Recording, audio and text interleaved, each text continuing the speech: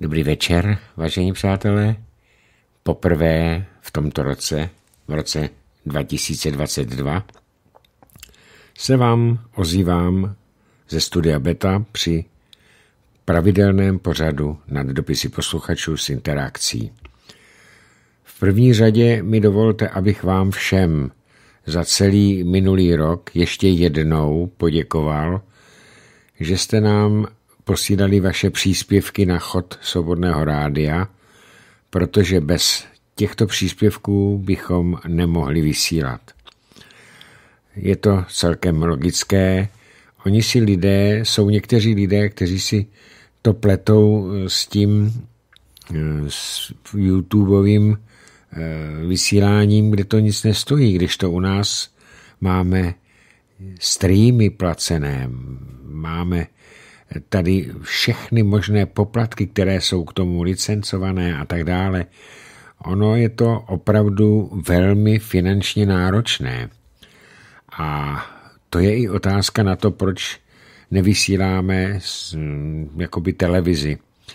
Víte, já totiž jsem ze staré školy a tvrdím jednu věc. Buď děláme rádio a budeme se ho dělat a snažíme se ho dělat pořádně a poctivě, a nebo budeme dělat televizi.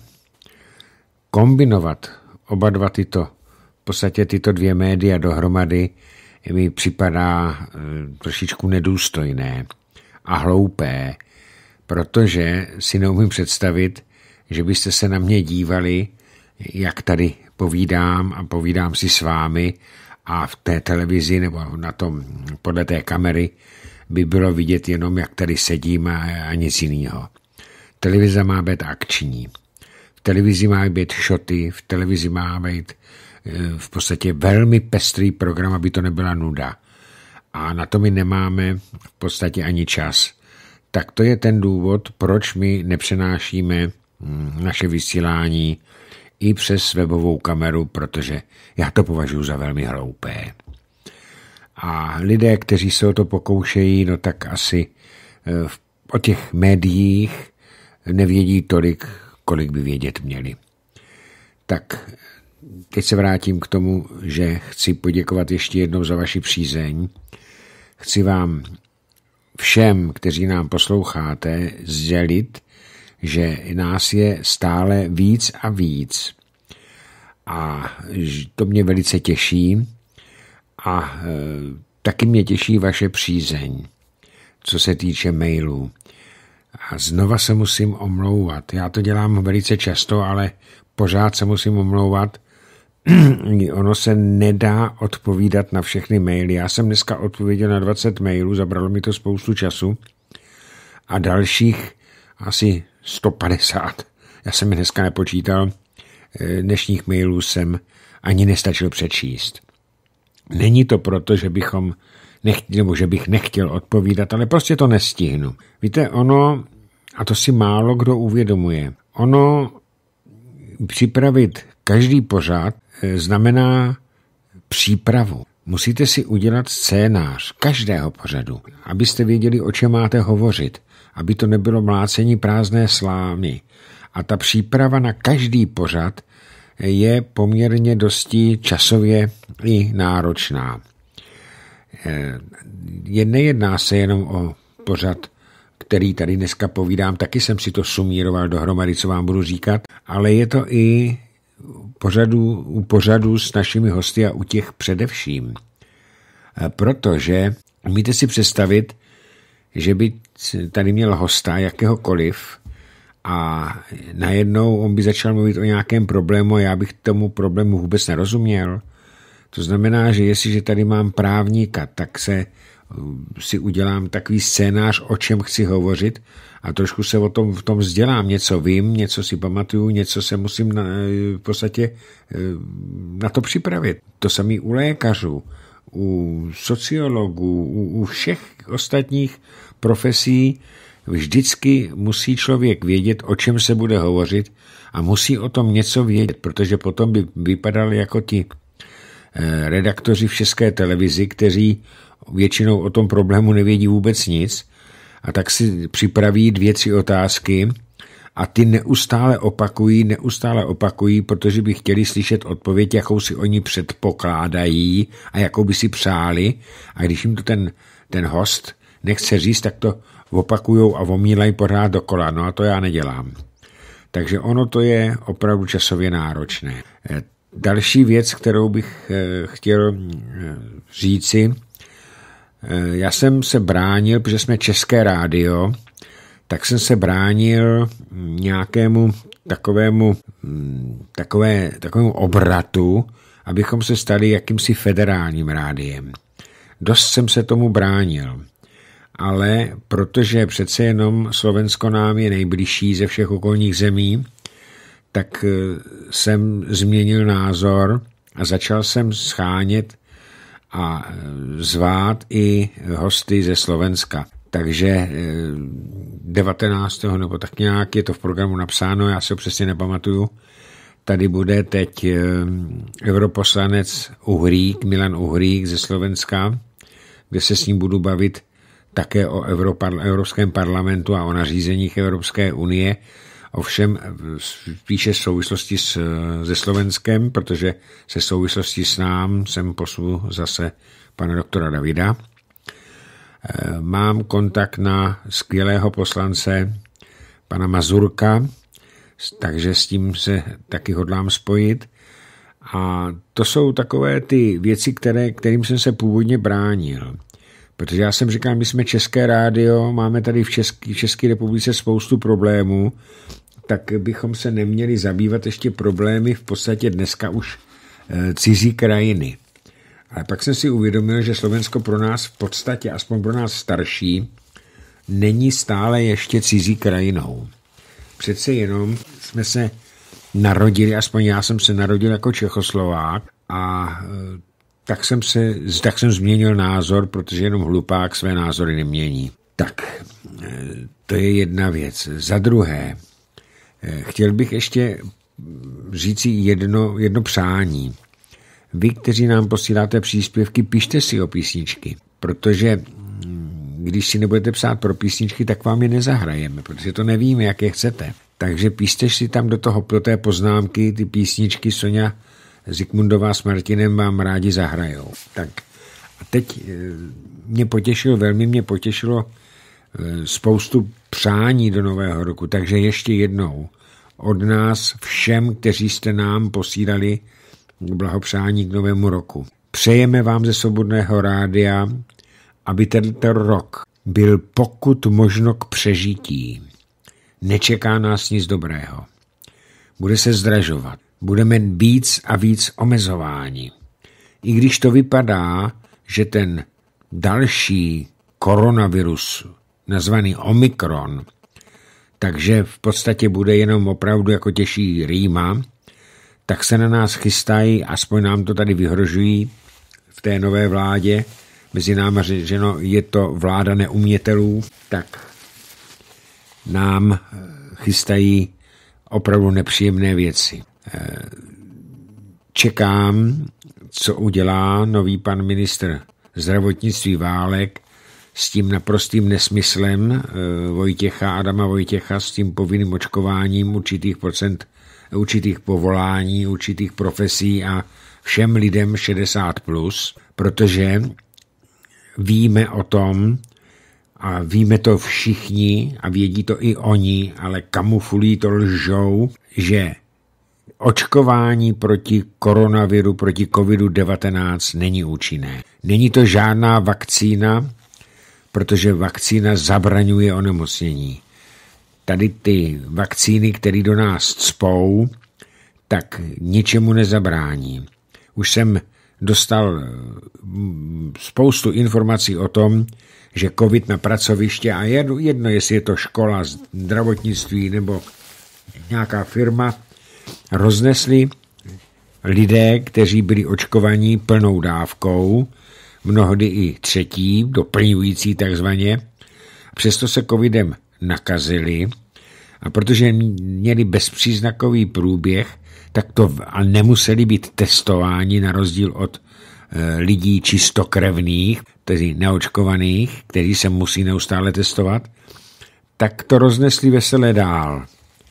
A teď tomu říkám, že je to způsob důchodové reformy. Proč to chtějí nadspat těm 60 letým a starším? No, protože budou více umírat.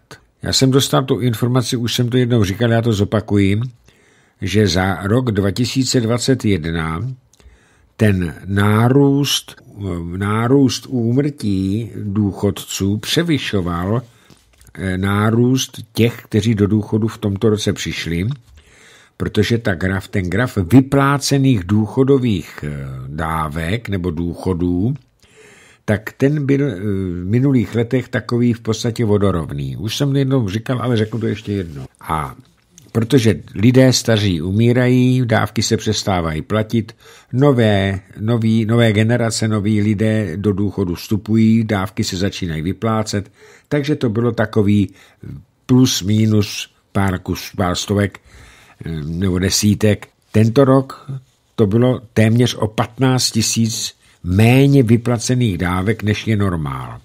To znamená jedině, víc lidí v důchodovém věku umíralo, než jich do důchodu vstoupilo. Takže já tvrdím, že snaha proočkovat 60 plus je důchodová reforma. Potřebují se zbavit důchodců. A už jsem to tady říkal, to je ta fáze pátá, ke které se blížíme, jak jsme to tady před časem říkali, kde bylo napsáno jeden z těch bodů zbavit se starých lidí. A tohle to si myslím, že je ta cesta. Takže nás tenhle ten rok nečeká moc a jsem zvědavý, co s tím nový ministr zdravotnictví udělá. Obávám se, protože už sám tvrdil, že to je diskriminační, naprosto je to diskriminační, když někoho z určitých profesí nutí, nutí aby se nechal očkovat. Konec konců dneska jsem četl, že eh, policisté, eh, hasiči a zdravotníci píší petice a protestují proti tomu povinnému očkování jejich profesí. A v podstatě jsem se bavil i s několika dobrovolnými hasiči, protože se s nimi znám hodně, kteří říkali, že to dělají ve svém volném čase zadarmo a než aby se nechali očkovat eh, látkou, o které nevědí, jestli je za rok nezabije, tak eh, že radši toho, toho dobrovolného hasiče dělat nebudou. A když si vezmeme, že na dobrovolných hasičích v podstatě mm, to spočívá, protože těch profesionálních hasičů není zase tolik, tak by to mohlo znamenat, že nám nebude mít kdo, hlavně na vesnicích, kdo hasit, nedej bože, požáry. Tak potěšil mě blahopřání od, od e, neurochirurga já vám to hned řeknu, protože já si ty jména k tomu se ještě dostanu. Eh, od docenta doktora Petra Habala, PhD, hrudního chirurga z Hradce Králové, který nám popřál do, jako každý rok a je pravidelným účastníkem našich setkání a eh, ten mi poslal kromě blahopřání ještě takový, takový zamyšlení co nám dal a vzal končící rok 2021. A tak mi dovolte, abych tento, protože to je velmi dobře napsané od pana doktora, tak mi dovolte, abych to teď přečet. Co nám všem dal a vzal končící rok 2021? Zamyšlení je třeba chápat ve dvou rovinách. Osobní je záležitostí každého, jaké hodnoty na misky vach položí. Společenská nemusí být objektivní, pro jednoho ztráta je druhého zisk. Podobně asi voliči uvažovali ve volbách, až čas může přinést objektivní zhodnocení. Začátek roku nám vzal spoustu svobod a příležitostí. Potýkali jsme se s covidovou epidemií, ale i s měnícími se vládními nařízeními jejich a jejich ekonomickými dopady. Pracovní izolace a omezení výuky mladé generace nám nadělil ztrátu mezilidské komunikace. To se jistě stane tématem sociologických studií. Nám, lékařům, dal možnost vzdělávat se v úzce specializovaných oborech epidemiologie a imunologie. politikům za veliké mediální podpory dal mocnou zbraň a nutkání ji využít k formování nových hodnot společnosti a její transformaci, ne vždy ku prospěchu lidí.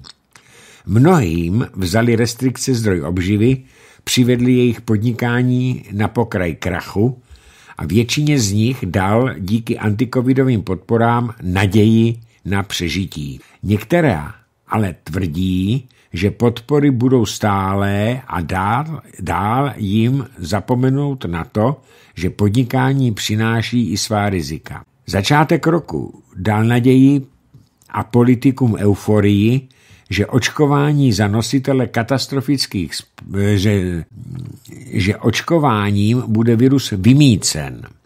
Varovné hlasy části odborníků nebyly vyslyšeny. Naopak byli označováni za nositele katastrofických zpráv a postupně byli mediálně upozaděni. A virus si přes pandemické zákony i opozici svolávané mimořádné schůze parlamentu žil a mutoval. Blížily se volby a tehdejší opozici dal možnost velkých mediálních prezentací. Poukazování na chyby a nedostatečné kompenzace virem způsobené a vládou snad špatně predikované příkoří se jí náramně hodilo. Opozicí kritizované nedostatečné a pomalé kompenzace se podíleli na růstu státního dluhu, který teď z vládní pozice odsuzuje. Bývalá opozice. Covidová mlha zastřela život okolo nás. Většinu lidí muselo zneklidnit vystoupení premiéra s odhalením údajných strůjců výbuchu v muničním skladu ve Brběticích. Nevím, zase veřejnost dozví skutečnou pravdu. Selským rozumem uvažující člověk se musí ptát, komu to prospělo a jakou cenu jsme zaplatili. Podezřelá je časová souvislost odhalení s chystaným nákupem vakcíny Sputnik V a finišování příprav dostavby jaderných bloků v Temelíně. A výsledek? Vyřazení čínské firmy i Rosatomu z uvažovaného tendru. To nás vede do energetické nesoběstačnosti s cenami energií dosud netušenými. EU připravila ambiciozní zelený úděl, který byl schválen naším parlamentem napříč politickými stranami s výjimkou SPD. Až na své poslední schůzi Evropské komise po prohraných volbách pan premiér proti němu srdnatě vystupoval bez efektu. Podobně se zachovala bývalá opozice, dnešní vláda, která přijetí vítala jako příležitost. Po půl roce nynější premiér se stal jeho kritikem. Pokud bude tato politika pokračovat, staneme se nesoběstačnými nejen v energetice, ale i v potravinách. Asi by bylo vhodné vzít ony pomyslné váhy a výše uvedené skutečnosti poměřit.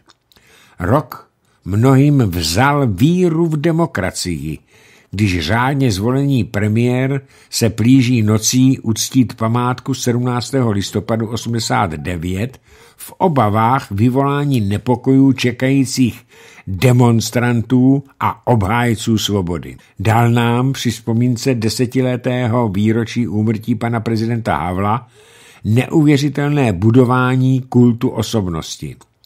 Historicky nevzdělaní obhájci pravdy a lásky se nepoučili, kam tato snaha vede. Úctu nelze nařídit. Osobnosti získá pouze vzpomínkou na svoji roli a její naplnění, nestavěním předražených hlaviček. Mnohým našim moravským spoluobčanům v polovině roku vzalo tornádo nejen materiální hodnoty nesmírné ceny, ale i podlomilo jejich víru ve smysl života. Zase se ale ukázala kde si skrytá síla národa, který vždy vycítí zlo a příkoří, dovede se sjednotit a pomoci.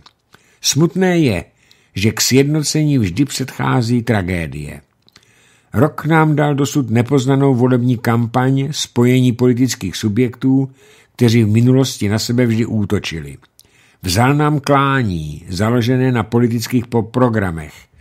Dostali jsme jen omílanou tezi boj proti panu Babišovi. Neočekávané se stalo realitou a dvě koalice vytvořily povolební blok a za podpory pohodlné většiny v parlamentu vládu. Nová formace v opozici zaštiťující se demokratickými principy ukázala pravou tvář. Pro uspokojení žádoucích pomoci vytvořila další místopředsednické místo pro paraženého pirátskou stranu. To odčerpá z rozpočtu již tak schudlé země nemalé prostředky. A proklamovaná demokracie najednou se vytratila. Vítězové vzali místo předsednické místo straně s více jak pětisty tisíci volickými hlasy, tedy SPD. Větší překvápko nám dalo sestavování vlády. Ještě nezačalo jmenování ministrů a nominant hnutí stan byl stažen, aby se předešlo zkoumání podezřelých finančních toků z daňových rájů. Místo něho byl z klobouku vytažen nikým nevolený a neznámý. Volič dostal další absurdní dar v nezvoleném ministru zahraničí. Bylo nám za to právo demokratické volby zástupců, ale dostalo se nám poučení. Nehledíme voleb, dosadíme koho chceme. Neříkala snad současná koalice něco o odbornících, ne i hned připravených zasednout ke kormidlu? K veslům, jak už se teď zdá, to asi nebude. Posílení odbornosti si proto vláda zřídila další ministerstva a my dostali poučení, že nezáleží na vůli voličů. Na čtyři pirátské mandáty vznikla tři ministerstva. Těžké je hodnotit odborné kvality nových, nových ministrů, ale kdo z nich se svěřenému oboru věnoval profesionálně.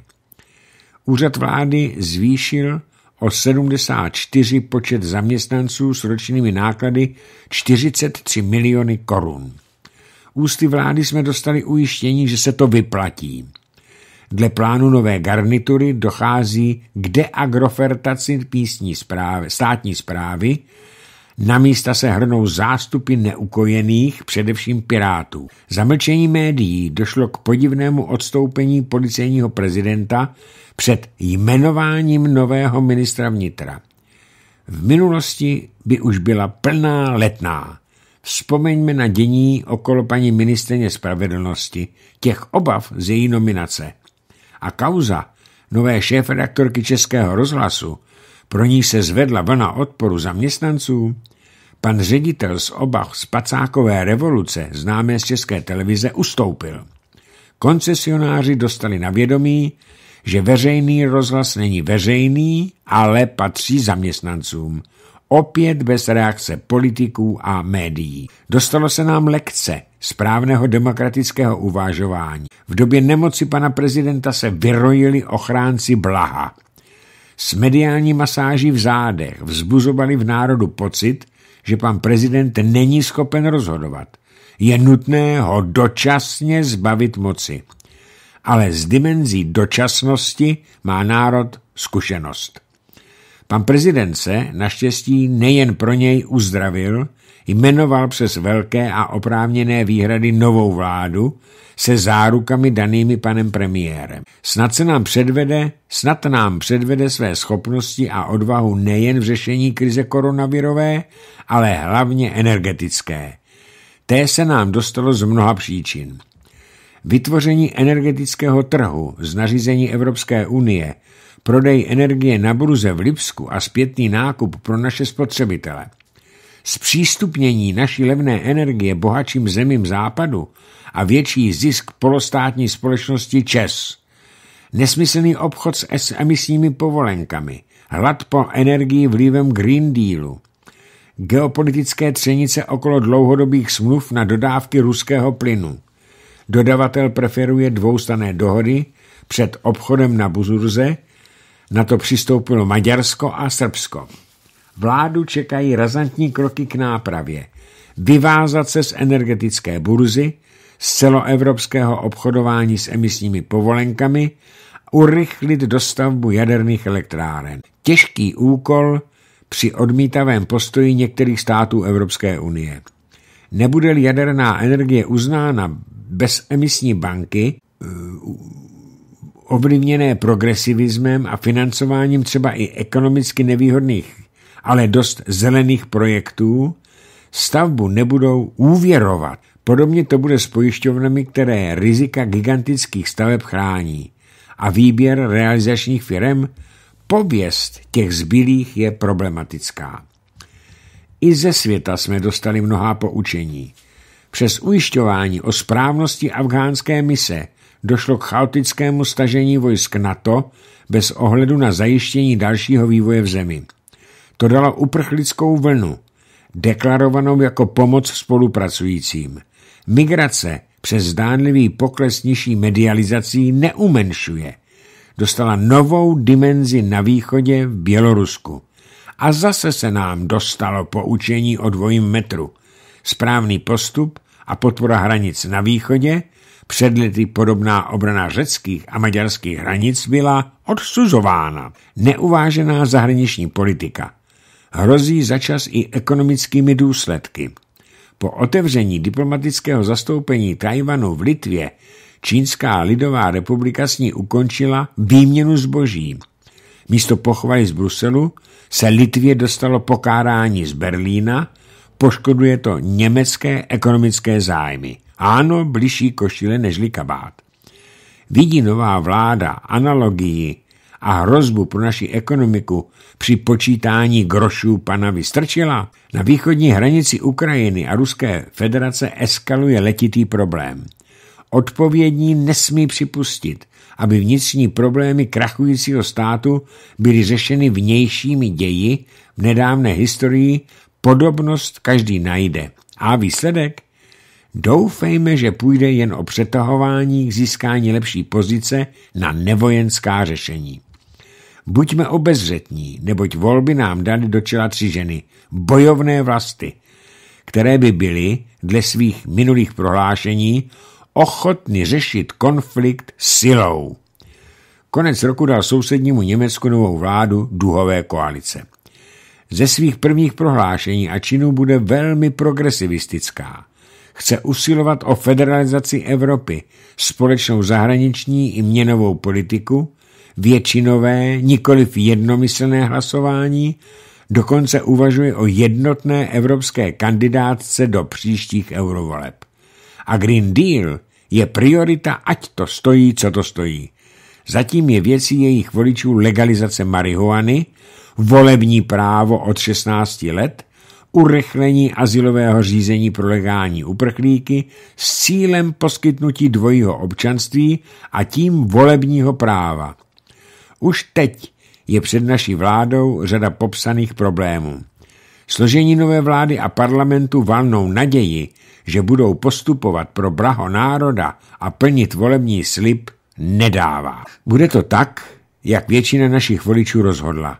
Snad občané před vhozením volebního lístku pomyslně dobře vážili.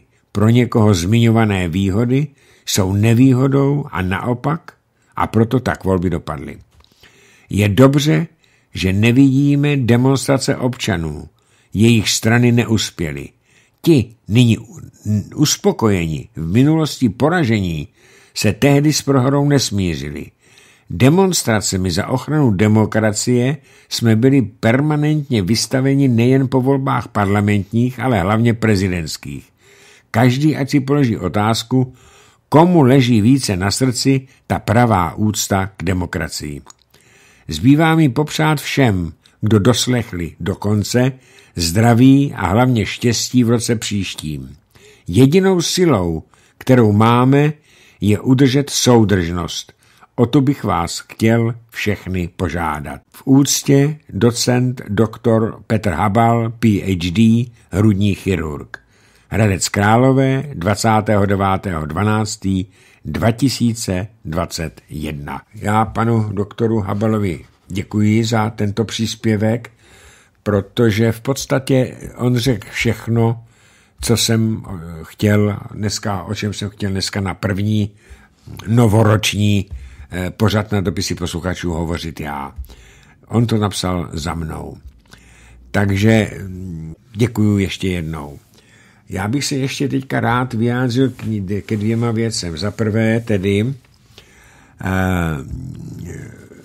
k tomu, že už jsme tady zažili druhý případ znásilnění migrantem, tentokrát v Karlových Varech, a byl to Afgánec, a já se divím, že to vůbec napsali. A za druhé, ještě ten samý pachatel velmi vážně pobodal starší žen, ženu. Takže e,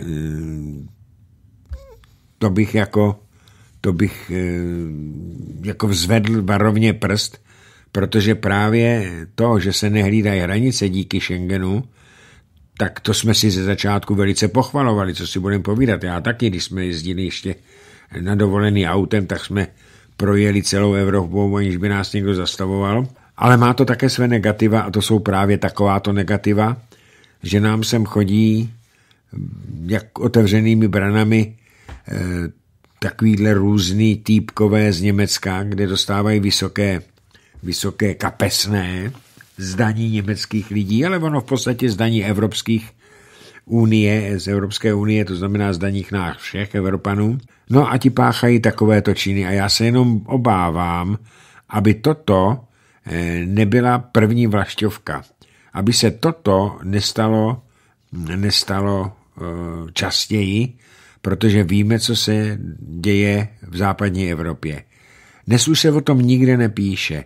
Já jsem čet nedávno eh, takovou zprávu, bylo to ku podivu, se to dostalo Eh, někam na nějaký alternativní web u nás v Česku, eh, jak si stěžuje policejní prezident eh, ve Švédsku, že v podstatě oni nemají pravomoce proti těmhle těm lidem zasahovat silou, tak jako musí zasahovat proti demonstrujícím místním lidem.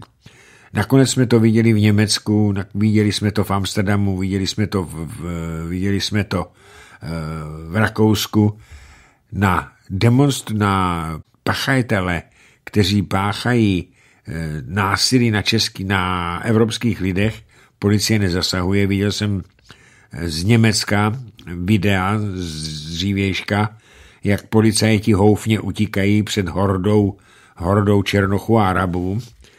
Za to proti Němcům dokáží tvrdě, tvrdě nastoupit.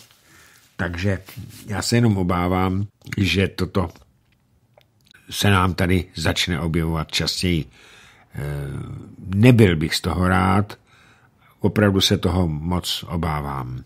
A když se jdete podívat po Praze, abych se vám přiznal, tak mě tam už ani nechce. Protože ať tam jdete někam do, do Staré Prahy na začátek nebo do, na okolo Václaváku, Staromák, všude tam je černo. Mně už to připadá, že to ani není Praha. Když jsme tam byli posledně, tak, si češtinu, tak jsme češtinu skoro neslyšeli a byl to samý cizinec.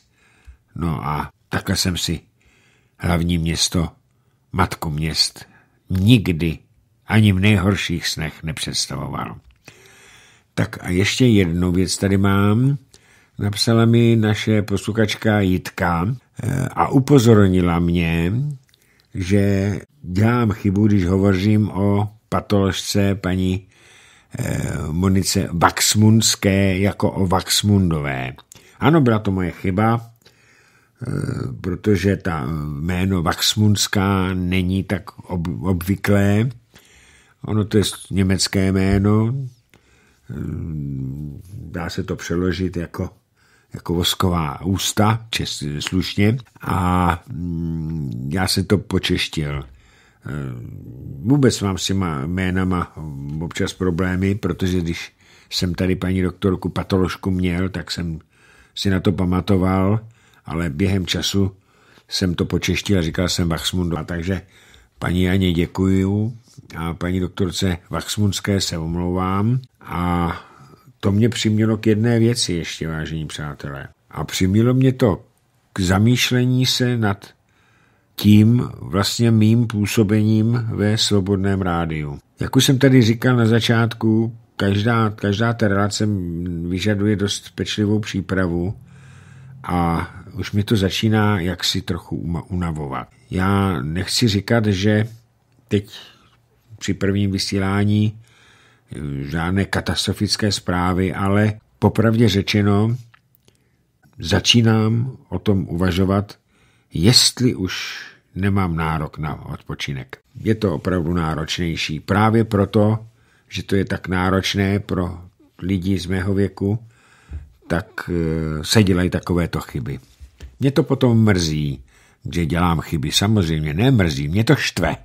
Takže ještě jednou paní Jice děkuju. Tak vážení přátelé, to bylo všechno, co jsem vám dneska chtěl říct a já se podívám na, jestli přišly nějaké SMSky, něco tady je, že bychom si dneska rovnou povídali, protože všechno, co jsem chtěl říct, pan doktor Habal napsal tak v tom příspěvku, takže se pustíme do toho, co tady. A můžete samozřejmě už od teďka i volat do vysílání na telefon 731 720 756. Já, jakmile to uvidím, tak si vemu sluchátka, abych vás slyšel. No a teď se podíváme na první sms -ku. Eh, tak, tady jsem dostal sms která ještě přišla dříve. Dobrý den, přeji a šťastný nový rok. Je neděle popolední a vidím na obloze chemtrails, severovýchod Moravy. Někomu se asi zdá, že jsme málo nemocní a že je po svátcích, tak za tři týdny uvidíme, píše posluchačka Emma. Paní Emo, u nás tady na Kladensku bylo dopoledne také krásně slunečno jasno, odpoledne se zatáhlo a pršelo, ale i tady dneska lítali ty čáry za těma letadlama. Tak, máme tady telefonát první, takže já ho vemu. Dobrý večer. Slyšíme se? Halo, halo, neslyšíme se. Já se zkusím, jestli tady není nějaký zvan.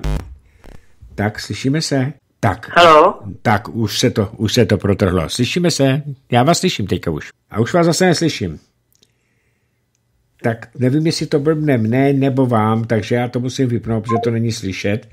A pokud uvidíme u dalšího zavolání, jestli to nezlobilo tady, jestli to zlobilo tady u mě nebo někde jinde. Já to tady radši ještě jednou přepnu. Tak. A jdu na další sms -ku. Hezký večer do studia. Pane Kapale, setkávám se s pojmy globální prediktor a globální elita. Máte nějaké informace k těmto pojmům, co se pod nimi skrývá? Děkuji za odpověď Oldřich z Pardubického kraje. Jak globální prediktor, tak globální elita je výrazivo pana VK z Aeronetu. Já se s tím nestotožňuji, protože on si pod globálním prediktorem představuje nějakého imaginárního snad stroj nebo já nevím co. Já tvrdím, že to je globální moc, globalisté. A ti se skrývají, nebo jsou v podstatě ti, kteří chtějí ovládat svět, a to jsou nejbohatší bankéři světa. Nejbohatší lidé světa, kteří se obávají, to jsou ti globální mocnosti, jinak také řečeno nový světový řád, kteří se začínají obávat, že eh, lidstvo v té podobě, kterou tady je teďka, myslím na množství a na způsob života, vyčerpává příliš mnoho e, surovin, takže by na příští generace nebylo těch surovin dost.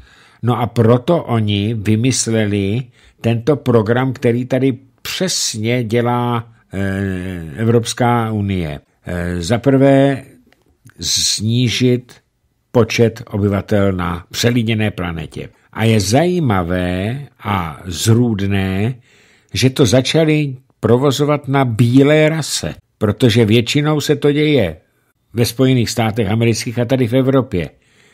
Nějaké, e, nějaké šílenství, očkovací šílenství e, v Africe, já to tam net neslyším. Nečtu to nikde. Tady se psali o tom, že ten Omikron přišel z Jihoafrické republiky, ale neviděl jsem tam, nikde jsem se nečet, nedočetl, že tam měli takový lockdown jako my tady. Austrálie, ta je totálně ztracená. Nový Zéland totéž.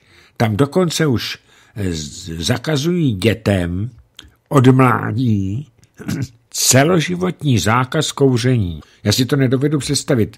To znamená, že ty děti teď nesmějí kouřit, to je celkem logické, ale až dospějí, tak nebudou smět kouřit, nebo chtějí zrušit úplně tabákový průmysl. Nový Zéland, Austrálie a vůbec Evropa, Spojené státy, včetně Kanady tedy, Severní Amerika, tak to jsou cíle největších útoků těch globalistů, tedy těch, podle mýho názoru, těch bankéřů. Takže žádný globální prediktor, on to taky používá velmi rád, velmi rád e, Pjakin a e, já to, řeknu to asi takhle, s některými názory Pjakina souhlasím, s některými názory já osobně naprosto nesouhlasím, proto ho taky neposlouchám. A neberu to, aby si ho každý poslouchá, jak chce, ať si věří každý komu eh, a co chce. Ale na druhou stranu vždycky je dobré podívat se na to eh, z pozice zdravého selského rozumu. Tady jako já taky nesouhlasím s tím, že, neží, že tady není žádné spiknutí, že tady nejsou žádné vlády podplacené a takovéhle věci. Samozřejmě, že nejsou podplacené ty vlády. Všechny vlády, které tohleto provozují s těmi lidmi, tak by ty peníze jim nestačily. Nebo to je nesmysl. Tomu se říká zákon padajícího domina. Oni totiž vědí, ty vlády, a teďka budu hovořit o té naší vládě. Oni totiž vědí, a hovoří se o tom tady 20 let, že se musí provést důchodová reforma. Žádná vláda se do té důchodové reformy nepustila. Je to v celku jasné. Všichni jenom vykřikují, že průběžné financování důchodu je nemožné.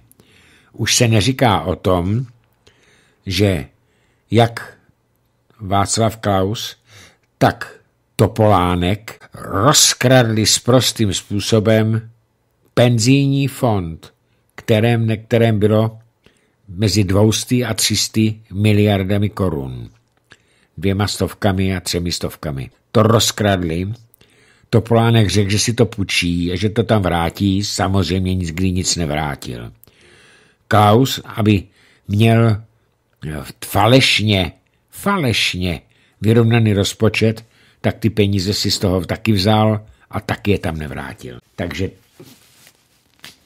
toto, co se teďka děje, všechny vlády v těchto těch vyspělých zemích přivítali z jednoho prostého důvodu. Sníží jim to počet důchodců a tím se nebude muset vyplácet důchody, tím se nebude muset stát zadlužovat a proto já tomu, tomu povinnému očkování říkám důchodová reforma. Protože kdyby to očkování a kdyby to bylo opravdu tak, jak by to lékaři měli vysvětlovat, a někteří to dělají, včetně paní patoložky Moniky Vaxmunské. Paní Jano, slyšela jste? Řekl jsem správně, Vaxmunské. Tak eh, by museli nejdříve před tou vakcinací zjišťovat zdravotní stav toho očkovaného. Dneska to berou šmahem jak čert židy, jak se říká. A je jim úplně jedno, jestli ty lidé mají přirozenou imunitu nebo nemají. Kromě Švýcarska, v Rakousku to zavedli, ale pak to zrušili, uznávání přirozených protilátek po, po prodělání covidu. Zatím to mají ve Švýcarsku. Švýcarsko není členem Evropské unie, je to takzvaně stát spolupracující. Není ani v NATO. Ale tady všude se to, včetně toho Rakouska, se to nařizuje povinně. Povinně. A to je něco neskutečného, aspoň z mého pohledu. Řeknu případ. Je to víc než rok, co jsem prodělal covid a za celý ten rok jsem neměl jeden jediný virus, který by mě e, na podzim ani, to už je to dva roky vlastně, to už je, no bylo to předloni v roce 2019, eh, dneska už musím říkat předloni, ani jeden jediný virus mě nesklátil. Neměl jsem žádnou virózu, žádnou chřipku, žádnou rýmu, žádný kašel, eh, kromě kuřácké bronchitidy samozřejmě. A já to přičítám tomu, že proděláním toho covidu jsem si vytvořil tu, tu imunitu, která mě ty viry likviduje. A já bych se měl nechat navočkovat. Vždyť je to přeci nesmysl. A právě proto tvrdím, že to, co tady oni povinný očkování těch lidí 60+, plus, tak nemá žádný jiný význam než důchodovou reformu. Zbavení se důchodců. A to je ten důvod, proč to všechny vlády světa dělají. Oni jsou všechny státy světa zadlužené. Neexistuje jeden jediný stát, aspoň tedy z těch významných, já nevím, nějaké ty malinské státečky, jako je Andora, to nevím, který by nebyl zadlužený. A hlavně ty státy, které sem nechali do sebe vniknout Mezinárodní měnový fond, protože tento má za úkol zadlužit všechny státy takovým způsobem, aby to nemohli splatit. A celá léta, celá léta, desetiletí splácejí jenom úroky a nakonec zaplatí za ty desetiletí platby těch úroků, aniž by se snižoval původní dluh, dvakrát i třikrát tolik, než si původně půjčili. To je jeden důvod Mezinárodního měnového fondu a druhý důvod je, že zadlužené státy musí moc a moc poslouchat, protože by jim jinak nikdo nepůjčil na další a další dluhy. A ty státy potom nemají peníze na ty důchody, takže se udělá povinné očkování, především starších lidí. No a jak máme ty informace, tak uh, už v několika, několika domovech důchodců nebo LDNkách nebo pečovatelských domech, já nevím, zkrátka těch, těch zařízení pro starší lidi nebo přestárlé, tak máme informaci, že těch očkovaných zemřelo mnohem a mnohem více než těch neočkovaných. Tak zkusím vzít další telefon, jestli to půjde. Dobrý večer, slyšíme se. Ježíši Maria, ono mi to tady nějak nechce fungovat. Tak to nevím, co se s tím stalo.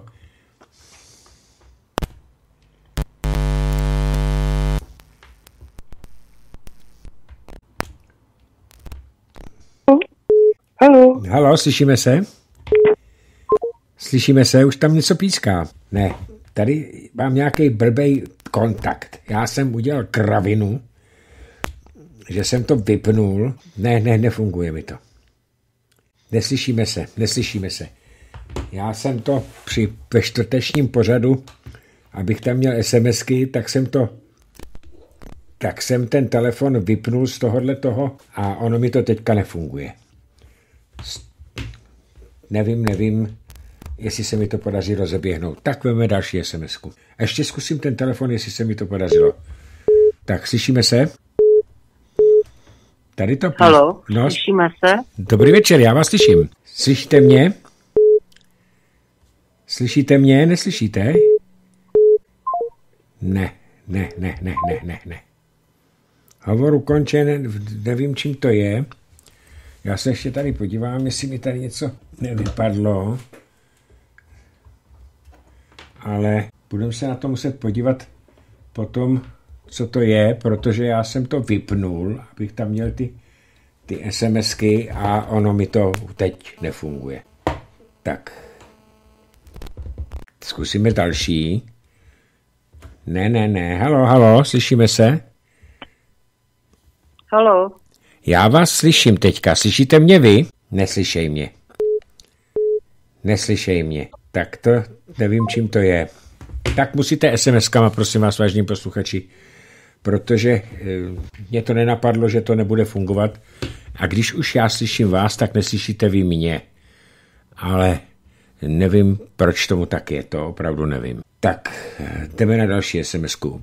To znamená, nevolejte, prosím vás, protože mi zlobí telefon, píšte SMSky, budu se snažit SMSky všechny, všechny vzít. Dobrý večer, pan Kapale, nemohl byste do studia pozvat pana Hampla? Ráda bych slyšela, proč tak bezmezně věří dlouhodobé bezpečnosti vakcín, proč se s despektem vyjadřuje o odpůlcích očkování a proč je, eh, takže nevím tady, kdo to je podepsaný, to tak se mi neobjevilo, pan Hampl k nám nechce chodit.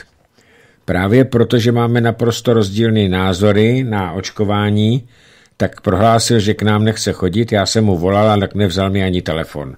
Takže pana Halpa tady už neuslyšíte. A já zase nejsem z těch, protože jsem mu já osobně vůbec nic neudělal, abych se někoho doprošoval. To teda já nikdy v životě nedělal a dělat nebudu. Takže eh, taky nechápu, proč tak bezmezně věří v očkování a nevím, nevím, nevím. ale chtěl jsem se s ním o tom popovídat, odmítl mi sem přijít. Tak, další sms -ka. Dobrý večer, pozvete tento měsíc do relace právničku paní Hamplovou. Dává hodně lidem naději, že do sebe nebudou muset píchat to svinstvo. Díky Marek od Pardubic. E, já zkusím vzít telefon, pak vám, pane Marku, odpovím. Ano, mám v plánu paní právničku pozvat a to ještě tento měsíc, protože se chci o ní bavit právě o tom, co dělat v případě, a já jsem o tom přesvědčen, že ten válek tu vyhlášku nechá v platnosti. Další SMS-ku vemu, a bude poslední zatím, protože bude přestávka. Dobrý večer, pane Kapale, díky za vše, co pro nás děláte. Díky i za tento pořad. Jsem si moc vědomá náročnosti práce, proto tato práce stojí vysoko nad tím, e, se někdy něco řekne nepřesně. Ráda bych se zeptala, jak jste vnímal projev pana Fialy, no Petra Fialy, i, i, a když za ním byly tři vlajky mezi NATO a EU, naše utlačená, mě se taky bylo uprostřed. Je to symbol, díky za názor, paní Marie. Paní Marie, jestli dovolíte, tak já potom budu mluvit po přestávce. Jo, po přestávce, protože teďka máme už 20. Eh, hodinu. Já si tady pustíme teďka čtvrt hodinky pár písniček a já se o té přestávce pokusím zprovoznit ten telefon a e, pak o tom Petru Filavi něco prozradím. Tak teď si dáme, teď si dáme tu přestávku do čtvrt na devět. Máme po přestávce. Já jsem se tady snažil teď všechny spoje na ten telefon trošičku e, přepíchat, jestli to náhodou se nezlepší, tak uvidíme. Tak já teď bych se vrátil k tomu, co se mě ptala paní Emma a to je na ten projev pana předsedy vlády Fialy. E, tak za prvé, to, že tam byly ty vlajky a naše byla upozaděná, tak to bylo symbolické, protože, jak známo, tak tato vláda bude prosazovat, prosazovat snahu Evropské unie a především Německa o to, aby jsme tady vytvořili evropské státy, Spojené státy evropské, tak proto upozaděná ta česká vlajka. Já jsem to četl jenom, ten jeho projev, já jsem ho neviděl, ale každopádně ten projev, tam nebylo vůbec nic o tom, co vláda hodlá dělat. A znova opakuji, že volby byly 8. října, oni vykřikovali rok minimálně, tato demožumpa, že e, jsou připraveni okamžitě převzít moc a do dneška jsem se nikdy nedočetl a nedozvěděl o tom, že by e, zveřejnili programové prohlášení vlády. To znamená, e, že by chtěli něco, že by řekli, co budou dělat s tím nebezpečím, který se na nás valí.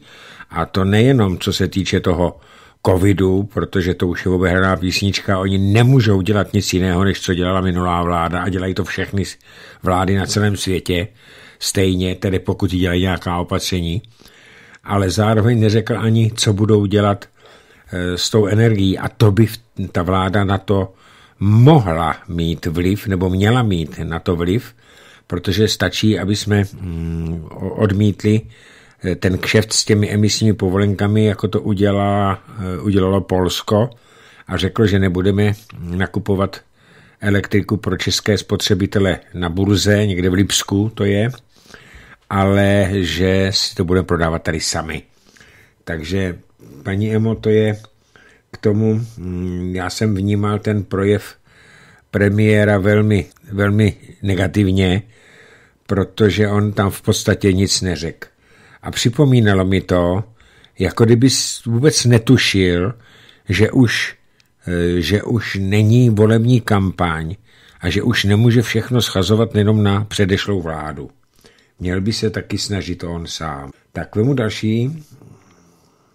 Eh, bohužel se nám nepodařilo promluvit. Bohužel, mě to taky mrzí, musíme se na to podívat. Zkusí, možná někdo, kdyby mě zavolal, tak jestli se já jsem to teďka přepíchal, možná, že se to e, zlepší nebo spraví a jestli ne, tak budeme muset volat technika. E, tak dále chci vám poděkovat za vaši celoroční práci. Puste prosím sen od Ortela. Přeji všem pevné zdraví, obzvláště panu Leošovi. Je mi líto, že to posílám takto po kouskách. Věra z Karlových varů. Já se mm, nevím, jestli tam, já se podívám. Tak tady máme telefon, já ho zkusím, jestli to bude fungovat, uvidíme. Slyšíme se? Dobrý večer. Slyšíme se, konečně. Dobrý večer, na do třetíce, do všeho dobrého. Tady je Bohdan ze Slezska, zdravím. A slyš, slyšíte mě, jo? Jo, teďka vás už slyším.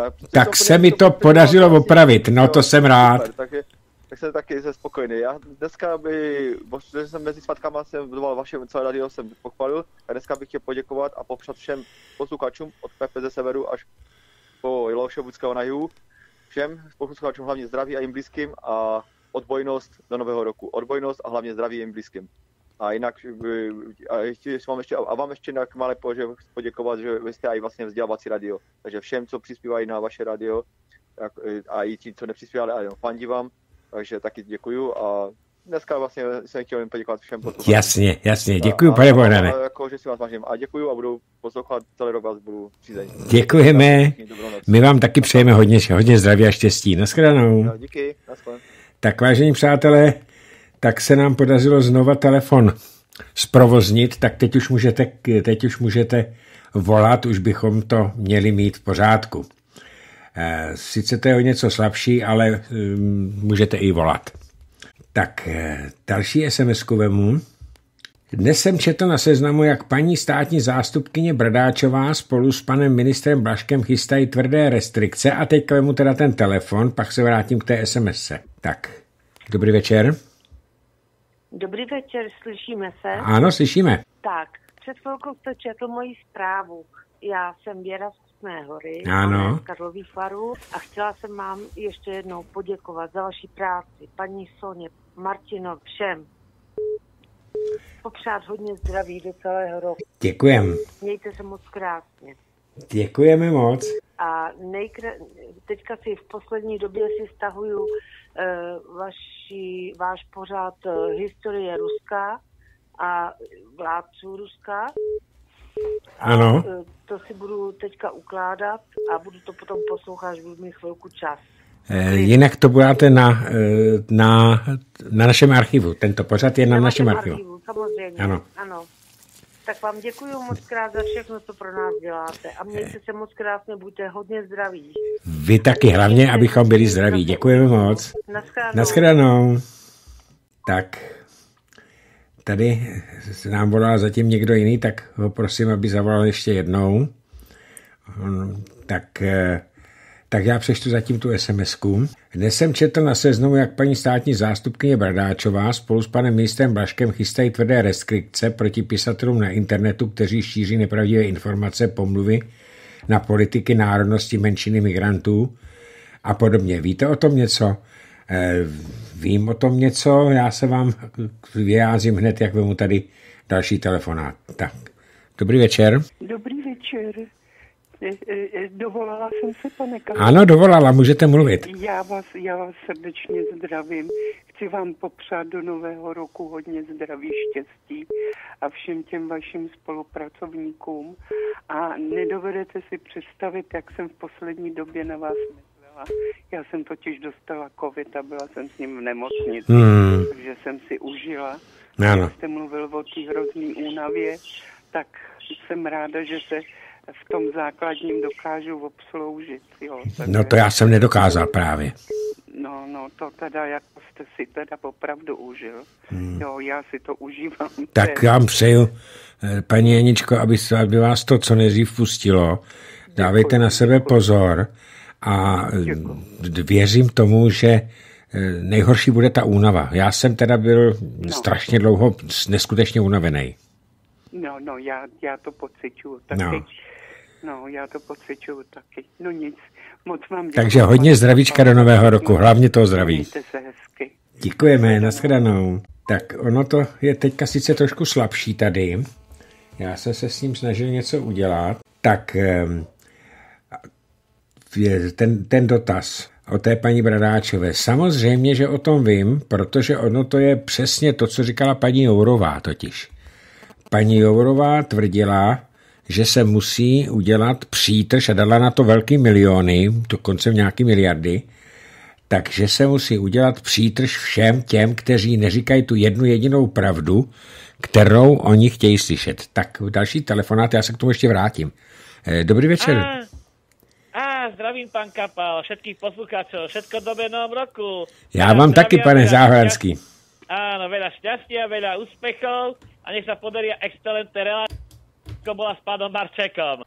No, mám Pán- pre vás dobrú správu. Dneska sa mi podarilo zohnať pre vás jackpot. Mám už kontakt na, na ľudí, ktorých ste veľmi chceli zo Slovenska. Já mám... Posielam po relácii kontakt a mus, poslucháči tešiť na naozaj veľmi exkluzívne, exkluzívnych hostí. Takže podarilo sa děkujeme. Já jenom vám musím upozornit, už jsem domluvený na pořadu s panem europoslancem Milanem Uhríkem Áno, viem. A e, budu se domlouvat potom, že musíme taky dávat naše, e, Jasné, jasné. takže se budu potom, ještě mám kontakt na pana Mazurka. Mazureka. Ano. On je vynikajúci. No, takže pošlem vám kontakty na Smerakov na našich. Áno, na áno. Jackpot. A nech sa darí a verím, že poslucháči ocenili reláciu s pánom Marčekom. A keby sa podarilo spojenie, ktoré pôvodne bolo plánované na Donbass, tak to už bolo úplná pecka. No, ale nešlo to. Verím sa podarí a že to bude super. To zatím nám to, to nevyšlo, no, to bohužel, ale jinak to nebylo špatné, docela jsme si Ne. dobře popovídali, ano. Ne? Tak, nech sa darí. Vám taky. A nech Ježiško, nech Ježiško dopraje, aby čím skôr vaša kruto vláda, čo prišla k moci, išla dole ako jabka v jeseni. No to by, já bych si to přál a stejně tak bych to přál ty vaší. Jo, jo. Takže nech sa darí, veľa úspechov a nech poslucháči sa majú radi naďalej Slobodné radio. A Děkuji. idem poslať tie kontakty vám na e-mail. Děkujem, děkuju, děkuju. Ďaká, naschle. Naschledanou. Naschle. Tak. Tak paní Jourová, to vracím se k té SMS, paní Jourová eh, proti tomu dala, na, proti, na ten boj proti tomu eh, šíření takzvaných eh, nepravdivých informací. Co to je nepravdivá informace? Já jsem tady říkal před rokem, že se obávám, že tu, když začalo očkování a moc lidí se nechtělo očkovat, tak jsem před rokem říkal, eh, že se obávám, že to udělají povinné. V té době mě napadali sluníčkáři, že tady šířím hoaxy, že si tady vymýšlím, že tady dezinformuju a já nevím, co ještě. A podívejte se, eh, před koncem roku honem honem to Adam Vojtěch tu vyhlášku vydal, protože končila ta vláda a on už za to neponese žádnou politickou odpovědnost. Politickou odpovědnost za to ponese ta nová vláda, ale ta se zase bude vybí, vymí, vymlouvat, že ona to nezařídila, že to byla ta minulá vláda, ale bude to v platnosti. No a jestliže pan e, Válek, minister zdravotnictví, tvrdil, e, že to je diskriminační, že se to musí nějakým způsobem novelizovat, tak to, že neřekl zrušit, ale novelizovat, tak to mě přešel mráz po zádech. Protože aby to nebylo diskriminační pro vybrané profese, to povinné očkování, a pro vybrané věkovou, vybranou věkovou skupinu, což odporuje listině základních práv a svobod, kterou jsme podepsali, tak se obávám, že on to udělá, to očkování, povinné od 18+. Plus. Z toho já mám strach. No a paní Bradáčová, prosím vás, uvědomte si jednu věc. Paní Bradáčová dělá jenom to, co se dostat do vzí za mořem. Ona tam totiž jezdila také na školení a tak se chová přesně dělá to, co má dělat. No a tak budou přesně ty e, weby a ty, ty stíhat. Teď se jedná o to, co budou považovat za, za e, to škodlivé. E, asi všechno, co nepůjde, nebude oslavovat Evropskou unii, Spojené státy, co nebude oslavovat tuhle tu vládu, jo, takže uvidíme, jak se to všechno vyvrbí. Ale paní Bradáčová je dalším člověkem, který nemá na tom místě co dělat, protože není nestraná. A jak se tam dostala, to víme. Dostala se tam jenom díky tomu, že dostala do vězení Davida Ráta. Ona to měla za úkol dostat do vězení Davida Ráta a tím, že ho tam dostala, tak, nebo k soudu, tak dostala tohleto, tohleto místo. No takže ano, je to velmi nebezpečné tohle. Uvidíme, jaký to bude mít dopad na vůbec na to všeobecné klima a jestli tady ještě vůbec bude dovoleno mít svobodné, svobodně pronášet své názory. Uvidíme, je to nebezpečné. Tak, tady, pane Kapal, přeji pěkný nový rok a hlavně zdravíčko. Posledních pár měsíců sledují vězku parte v Plzni a okolí a jsou tam převážně 70 a výše. Já neočkovaná 75 to při, přikládám, že byli očkovaní. Tom. Dnes jsem se vrátila z Ostravy 60 žadci, tanec, zpěv, žádná kontrola, žádný respirátor a konečně jsem se cítila normálně. Lidičky, vzpamatujte se a žijte dle svého a neposlouchejte, co vám nařizují. Jen ovce jdou e, ve stádu. Moc hezký večer, pane kapele, děkuji s pozdravem Zděnka Gertlová. Já jsem strašně rád, paní Zdeňko, že jste se byla e, pobavit na té oslavě těch šedesátin a že jste se tam vykašlali na nějaké ty respirátory a podobné nesmysly. Já jsem totiž přesvědčen, stoprocentně přesvědčen, že nejvíc roznášeli ten covid eh, ti očkovaní, protože ti neočkovaní se neustále museli, museli testovat. Takže uvidíme, eh, zdali teď je, už jsem taky se dočetl, že i očkovaní se budou testovat. Tak jsem zvědavý, jak se na to budou tvářit, protože hodně lidí, dokonce i mě to psali někteří naši posluchači, že se nechali oočkovat někteří dvakrát, někteří už třikrát, jenom proto, aby měli klid v práci a mohli si chodit kam chtěli a mohli chodit na fotbal a jezdit na dovolené. Uvidíme, eh, jak to bude s tím, když se budou muset povinně očkovat taky a k tomu dojde. Tak další telefonát. Dobrý večer. Dobrý večer, tady Vašek z Jižní Moravy, srdečně vás zdravím, pane Kapele, a chci jenom popřát vydržet, jestli vám to bude tkat palce, ano. jak jste říkal.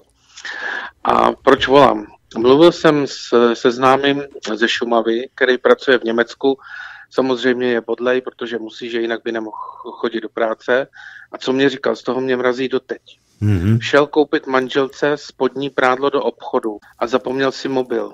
Hmm. Ta prodavačka ho vyhnala pro mobil, aby ukázal, že je podlej, uh, jinak by mu to neprodala.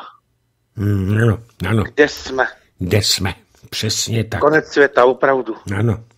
Já jsem dneska hovořil s jedním s mým, řekl bych, nejlepším kamarádem. Eh, je to můj, můj vrstevník. A ten mi to dneska odpoledne přesně tohle to mi říkal. Kam jsme se to dostali? No to je přeci před, já nevím, 70, 80 lety zpátky. No, nejenom tak.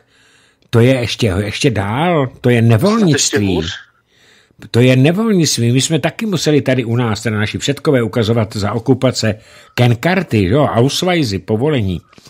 Ale aby jim neprodali, no. no to je neskutečně. A přitom ale oni, oni, ta prodavačka porušila zákon. No, jak vidíte, asi ten státy přikreje. No, ten státy přikreje, ale přitom, jak, jak říkají právníci, tak je to ne, nezákonné, oni musí prodat. Jo? Ale že i ty Němci, já se bojím, že to půjde, půjde. No Němci jsou, se radikalizovat. Němci jsou možná. horší než naši. Němci jsou horší, jak to říká Zdeněk Chytra.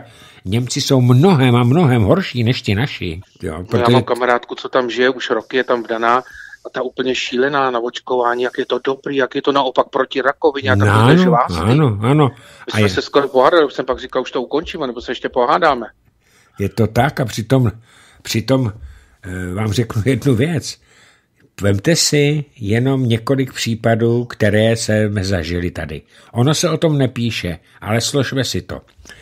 Pamatujete, jak Franta Nedvěd, eh, skvělý chlap, skvělý zpěvák, já ho měl strašně rád i Honzu, tak jak se léčil z rakoviny a vyléčil se, prošel chemoterapií a slavnostně ohlásil, že rakovinu porazil a že se bude vracet zpátky jako do života.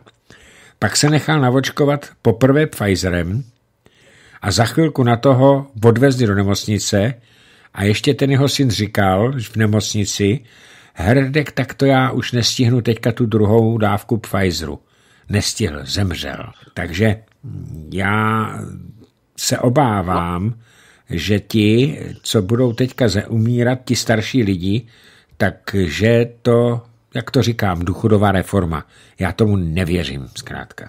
Ne, jenom malá poznámka, paní Nedvědová je, je vzálená příbuzná. No, tak to máte, tak to máte z první ruky. Ale, ale eh, co, chci, co chci říct, že, že teď jsem to spolknul. To no ale je to šílený v tom, tom Německu, to je, jo, mě úplně vyrazil dech, když mě to řekl.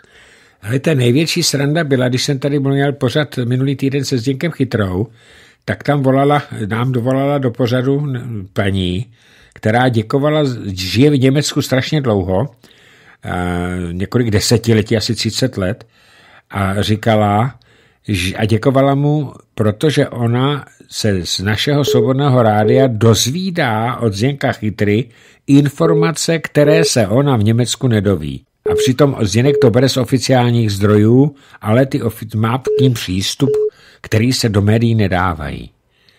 Jo. Takže co se chce od Němců čekat? Je to hrozné. Tak kámoška v mém věku, že mě 54, hmm. holky má dvě, dvě dcery, jo, hmm. syna, všichni, všichni na očko. Ano, ano, ano, ano. Co to je za svobodu, jako? Ale takhle, jestli chtějí, ať se nechají, já jsem, já vyznávám maximální svobodu. Jestli chce někdo nechat očkovat, ať se nechá, ale ať nenutěj eh, očkovat lidi, kteří nechtějí. Ale ona o tom mluvila jako o, o, o, o živý vodě. Mm, mm, jo, jak z mm, pohádky. Úplně přesvědčená, jako jo. A přitom to není hloupá ženská. Aspoň vidíte, co dělají média. Svět, no to dělají teda, ty dělají, no. Ty. Svět se opravdu zbláznil. Svět se zbláznil. No ještě, že vás máme, pane Kapale. Děkujeme. Ještě, že si můžeme vylejt srdíčko, no, snažíme se bojovat, jak to jde. Snažíme Odoláváme ano, tomu, ano. no. Bohu, bohu dík, já nedělám práci, kde bych musel být, nebo aby mě to existenčně nějako likvidovalo, že jo, zatím, zatím aspoň ne, tak odoláváme, no. Mm, Přátelé mm, naši, snažíme se prostě.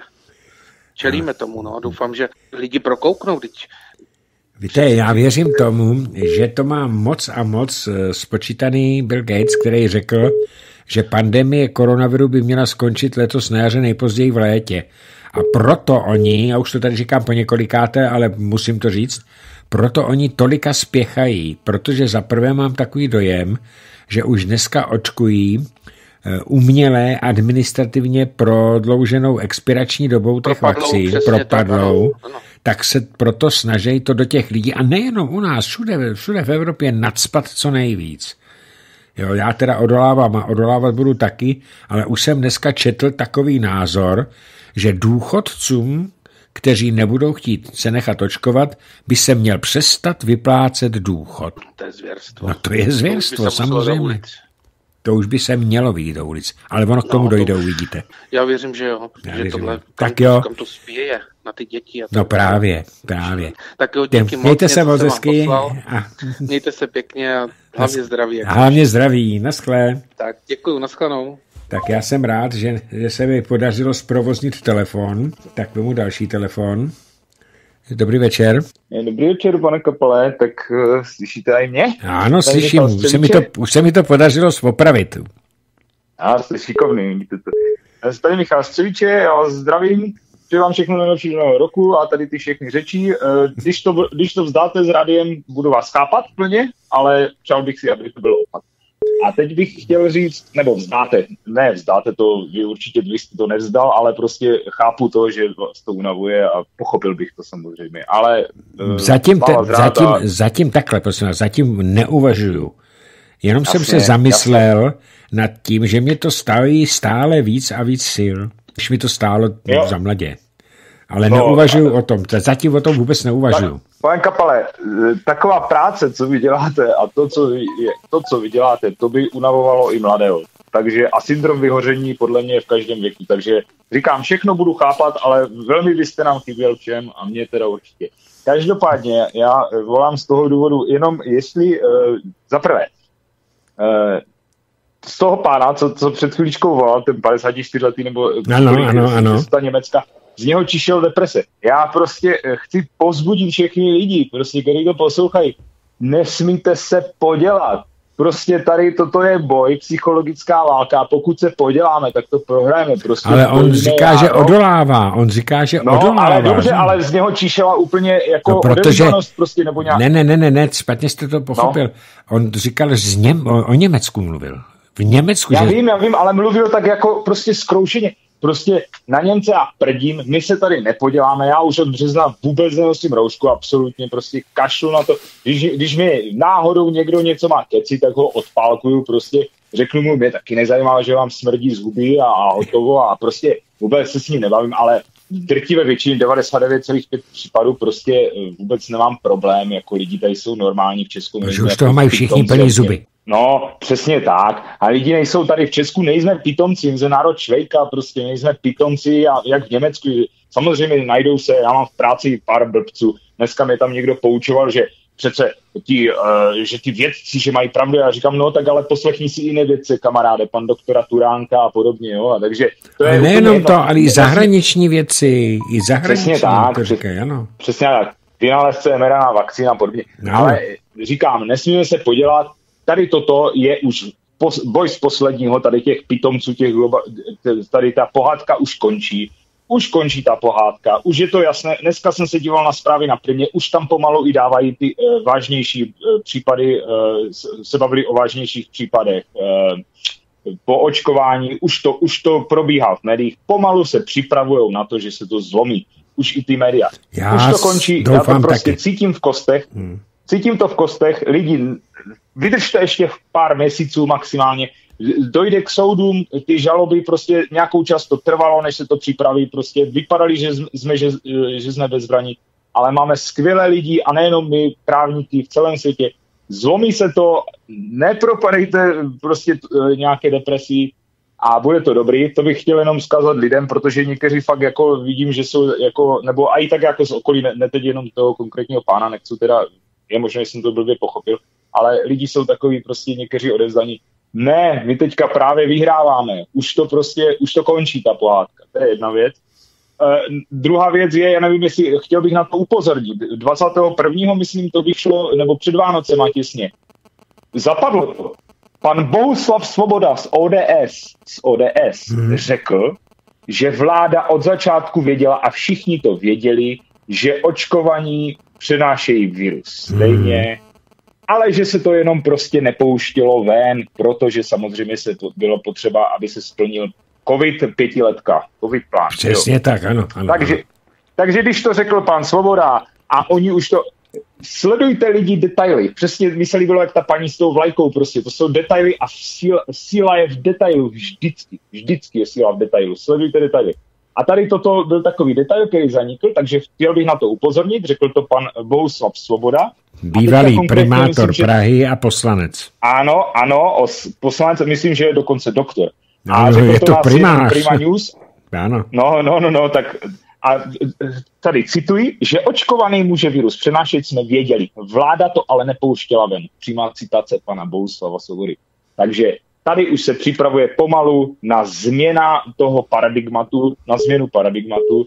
Prostě bojujme, ukážeme, že se z nich neposereme a tím, čím dříve to ukážeme, tím dříve prostě to skončí. Celý svět je na nohách. V Izraeli jsou obrovské demonstrace. Pane Michale, ve, celé, děkujeme za tu informaci, světě. ale jsou tady zase už další, musíme to ukončit. Jasně, jasně, jasně. Už jsem se zase rozkechl, já totiž bych kecal do nekonečna.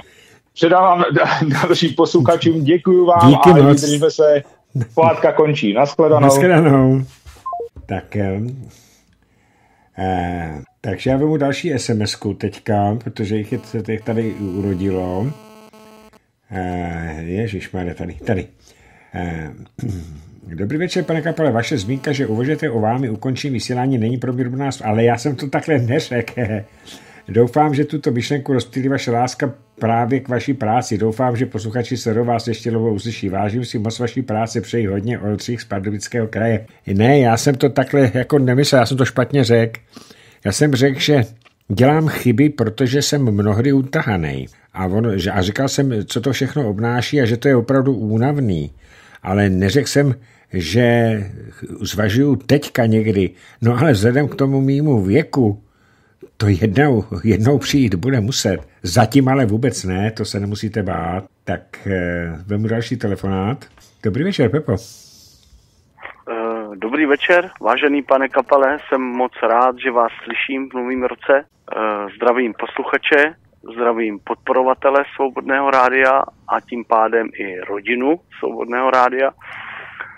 Přeji vám hezký začátek nového roku a opravdu držme se, no. Už, už se to blíží do finále a uh, já mám teda obavy, pane Kapale, z těch lidí, jako celkově, jo, uh, z těch naočkovaných a tohle, protože uh, oni, oni jsou už tak, uh, vlastně, oni už mají tak vymité mozky z, tě, z toho života, jo, z toho mainstreamu a ze všeho, že oni už vlastně uh, jdou poslušně jdou do té plynové komory, no. což znamená, plynová komora je vakcína. Hmm. Tak oni už dobrovolně stojí fronty na ty vakcíny a, ne, a okolo nich nemusí stát už ty SSáci, jo, a hnát je, hnát je do toho, uh, oni už jdou dobrovolně. A z toho já mám největší obavy, protože tyhle ty lidé uh, prostě ty budou poslouchat uh, t, uh, tu, ten government, jak tomu říkají v Americe, uh, prostě uh, ho budou poslouchat na prvním místě. Takže co oni nařídí, tak oni půjdou a udělají. Jo?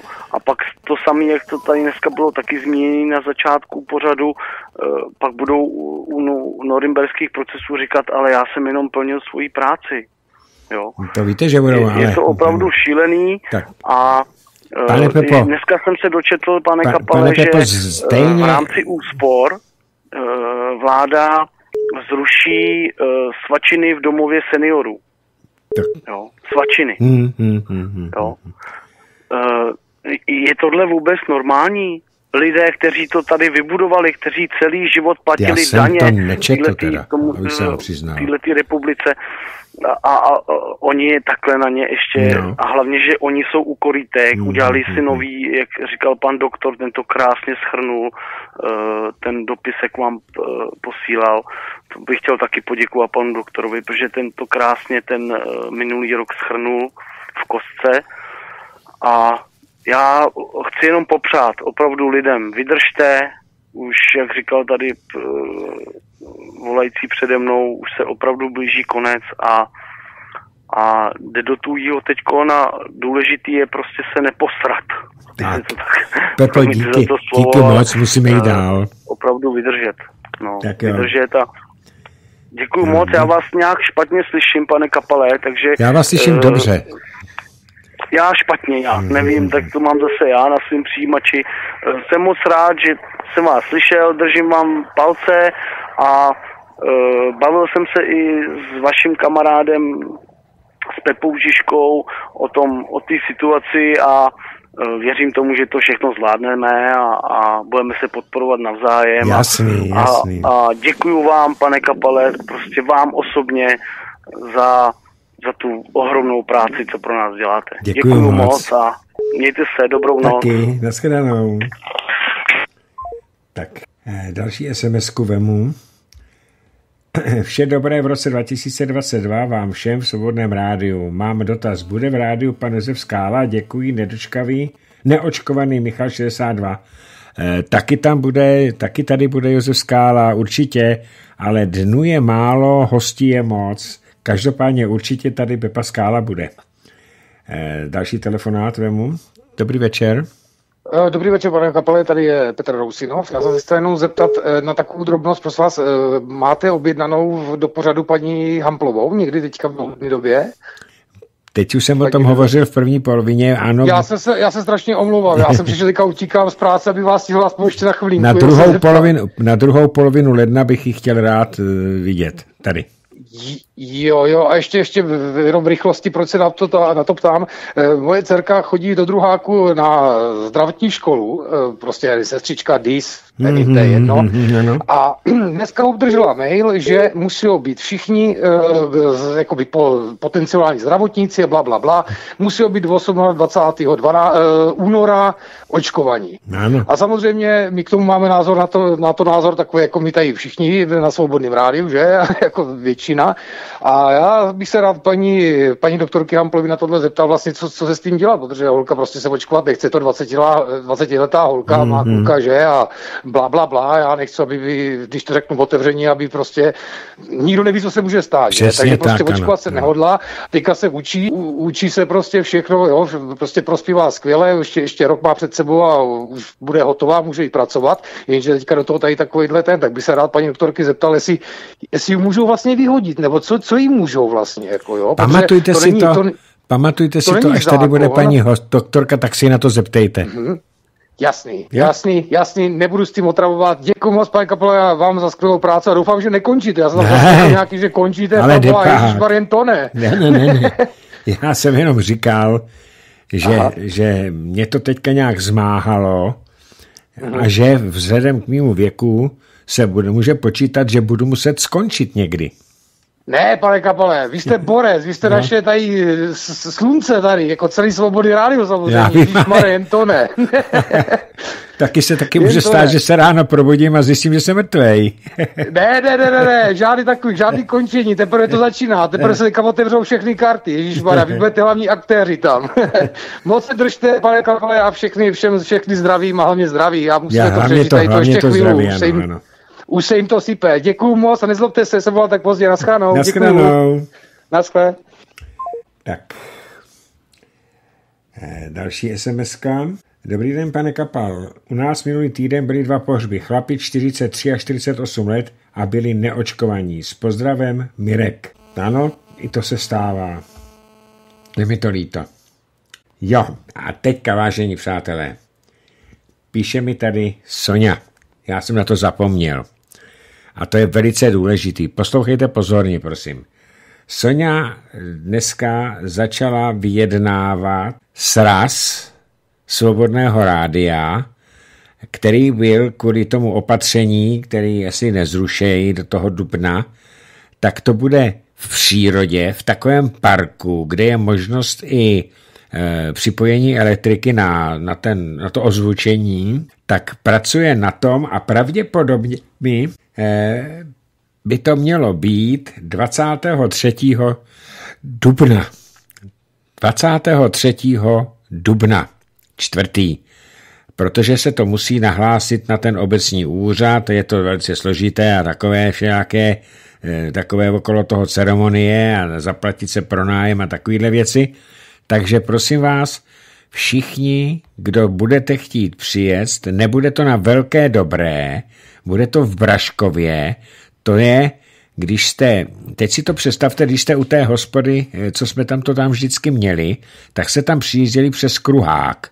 A když byste jeli od té hospody, tak se na tom kruháku dáte hned doprava, přejede se dálnice a za chvilku jste v Braškově a my tam potom dáme mapku a vysvětlíme, kde se ten eh, valdecký háj nachází. Takže hmm, ještě jednou Sonja začala pracovat eh, na tom eh, srazu Svobodného rádia na 23. dubna. Tak to je velmi důležitého. Eh, vážený pane Vladimír, další senska, mám takový dojem, že se v Evropě a hlavně v Německu probouzí nacismus, píše paní Marie. Paní Marie, to se vám, to nemáte takový dojem, to je fakt. A on se neprobudil, neprobouzí, on už se probudil protože to, co tam chystají, tak to nic jiného není, než to, co dělal, eh, to, co dělal Hitler v rámci norimberských procesů. A jak vidíte, že se teď navrhla Ursula von der Leyen zrušit norimberské kodexy. Ty norimberské kodexy to byly právě eh, normy, které měly a zakazovaly dělat pokusy na lidech, včetně dostatečně nevyzkoušenými léky a vakcínami. A tady u toho Pfizeru a u všech těch vakcín to je v podstatě nevyzkoušené, protože to neprobíhalo dlouhodobě klinicky. Tam se to musí dělat dlouhodobě tak, aby se zjistilo na dobrovolnících, aby se zjistilo, zdali to nebude mít nějaké dlouhodobé účinky. A to se nestalo. A proto chce Uršula uh, ty kodexy zrušit. To je to, co dělali norimberské zákony. Tak. Mám stejný názor jako Michal. Zdravím všechny k novému roku. Petr Dětkas. Přesně tak. Nesmíme se, nech, nesmíme se podělat, protože eh, kdo se bojí, tak nesmí do lesa. A v lese je krásně. Tak eh, tady jdeme další SMS-ku. Dobrý večer, měl bych prozbu, zda neposlouchá někdo, kdo zná, kdo znal báječného chlapíka, publicistu a předního bunkrologa, inženýra Martina Rabone, který mlád 53 let náhle zemřel počátkem prosince. Nemohu se zbavit podezření, že také tam bylo i očkování. Zda by někdo nevěděl. Podobně mám hodně divný dojem i z odchodu Karla Roprajze. A vztah tam, kde někdo nějaký zdravotní problém má, tam ty vakcíny působí jako katalyzátor a urychče, urychlovač. Přeji hlavně zdraví. Jirka z Pardubic.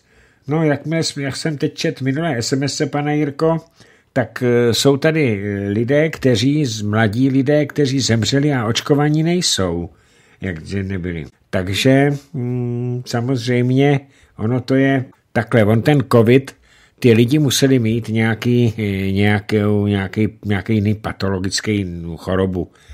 Protože, ale ještě jedna věc je závažná. Většinou totiž ne, i neočkovaní mají veliké problémy s covidem a to právě ti, kteří jsou obézní. Obézní lidé to snášejí daleko hůř, protože vznáte to, že silní lidé hůře dýchají. A jestliže dostanou covid i nevočkovaný a jsou obézní, no tak ten dech potom nestačí. A to právě já se obávám, že toto bylo příčina úmrtí mého velmi dobrého kamaráda, nejenom mého, ale i Soni, eh, kamaráda Standy Humla, který nás teda, nás to hodně sebralo a protože on eh, nebyl příznivcem vakcinace, tak jsem přesvědčen, a nevím to, já, to, já, jsem, se, já jsem to nezjistil, jestli byl nebo nebyl očkován. Ale každopádně tam ta obezita byla. On to byl chlap jako hora a on měl problémy s dechem, taky proto už přes lety přestal kouřit cigarety, protože říkal, že by to neudejchal a začal kouřit fajfku, protože tam se to nešlukuje. No a tak nevím, jestli ty dva neočkovaní mladí muži byli, byli obézní nebo nebyli. Tak eh, tady mi píše Věra z Karlových Var, skvělé, už si jdu rezervovat dovolenou. Tak vás rádi uvidíme toho 24. dubna, já věřím, že to tam, že to tam dobře dopadne. A říkám, my dáme eh, včas návod, jak se tam dostat. Není to nic těžkého, ale jak to znáte to všichni. Jednou doleva, jednou doprava jste tam. Přeji hezký večer a moc děkuji, co po nás děláte, pane. Dnes jsem objevil zajímavé internetové stránky na, na YouTube David Hengel. Má tam mudu Sonja Peková, zatím neočkovaný Vladimír z hlavy. No, paní Soka, Sonja Peková už porušila bobříka mlčení teďka, takže já taky chystám zhruba za, za měsíc, až uvidíme, co bude dělat Omikron, abychom se o tom Omikronu popovídali s ní. Tak vemu další telefonát. Dobrý večer. Dobrý večer, tady Leoš Jára. Zdravím. Jo, uh, už jsem se, už jsem si pořadu. Ano. Jo, tak dobrý večer, pane Kapale, tady Leoš Jára z Berouna. Přeju vám pěkný večer. Já vám nevolám do pořadu, ale vždycky bych vám všechno podepsal a já bych vám chtěl taky poděkovat za vaši práci, co pro nás všechno děláte. Jo, takže moc Děkuju. rád vás poslouchám. Tak. Děkuji moc. Tak ono... to je asi tak všechno. Děkuji moc, ono to totiž je potřeba, víte. Tak, no určitě a halite se a hm, to člověk někdy, kdo, kdo něco někdy dělal a dělá to dlouho a ono to vždycky bere práci, hm, ta práce bere vždycky hm, tu, tu sílu člověku Jo, někde je potřeba si opravdu odpočinout, hmm. ale já myslím, že prostě, že pomůže to, když uh, slyšíte, že, že, někdo, že to má někdo jako radost. Tak ano, to, to, je, to, je, to je ten motor, který člověka uh, žene dopředu. Ano, máte pravdu. Určitě, určitě. Prostě. On to říkal to... i Karel Gott, pro něj, pro něj to bylo ten potlesk, že jo. A tak. když si vemete, je... když si vemete, že vám tam chodí spousta mailů, kde vás jenom urážejí, že nestačím to házet do spamu, tak ono to kolikrát člověkovi začne líst na nervy. Jo, to, to věřím. Ale to se mm, prostě, ta, e, já jsem třeba ještě ve sportovním spolku hmm. jo, a máme tam lidi, kteří nic nedělají, jenom rádi kritizujou a pak jsou lidi, kteří jsou hrozně pracovití. Jo. Ano, já znám. A, z, a bylo by dobrý, kdyby takový ty lidi, co rádi kritizujou, vyzkoušeli sami něco takového. To je tak obrovský závazek, to je, co vy děláte. Každý den, já si, já každý den přijdu z práce, já si pustím to vaše vysílání a prostě bavím se. Ale ono připravit takovýhle pořád, a těch pořadů je několik, co to nejenom vy, paní Sonja, pan Dukát s tím má práci, jo. no všichni, co, co jo, ano, všichni. prostě není to sranda. Je to obrovský závazek. Každý den musíte něco udělat. A věřím, že to bere sílu, ale určitě bych chtěl říct, že eh, jestli, jestli vám to trošku udělá radost, tak každý den vás tak poslouchám. Tak to mi, to, to mi udělalo radost, ano, děkuji moc. Tak jo, tak přeju hezký večer Taky. a zdravím ostatní uh, posluchače uh, taky. No. Takže Jasně. hezký večer. Hezký večer. Naschledanou a díky. Naschledanou. Vážení přátelé, tak to bylo asi, asi všechno. Jo. Tak eh, ještě vemu jednu SMS-ku. Eh, pane Kapal, byli to sportovci, kteří pracovali fyzicky, věřili ve svoji imunitu a byli proti očkování. Obezní nebyli, Mirek. Tak to je teda tragédie, no.